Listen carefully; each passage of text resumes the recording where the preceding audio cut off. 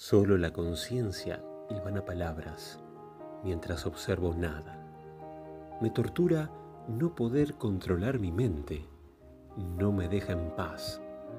Me siento en un baldío totalmente desierto.